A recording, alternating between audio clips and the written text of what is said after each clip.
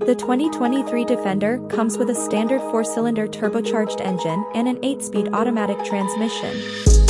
Naturally, all models include locking differentials and 4-wheel drive for negotiating difficult terrain. A 3.0-liter inline-six powered by an electric supercharger and a 48-volt hybrid system is also an option for the Defender. The 130 variant with the large wheelbase we tested reached 60 miles per hour in 6.2 seconds. If buyers want more power, they can get the 518 horsepower supercharged V8, which in our tests accelerated the Defender 90 to 60 miles per hour in in 4.4 seconds. The Defender is built with a unibody rather than a body-on-frame system and swaps out the old solid axles for a completely independent suspension.